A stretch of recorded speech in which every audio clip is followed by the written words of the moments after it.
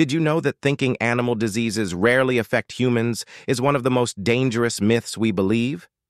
The terrifying truth is that over 75% of all emerging infectious diseases come directly from animals. Every single day, new deadly viruses mutate and jump to humans through direct contact. Ebola came from bats, SARS from civets, HIV from primates.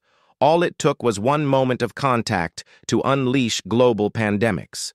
Modern factory farms create perfect breeding grounds for these mutations, thousands of animals packed together, stress weakening their immune systems.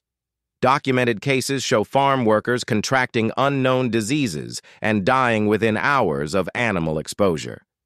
Scientists estimate there are over 320,000 unknown viruses hiding in mammals right now. Any one of them could be the next pandemic.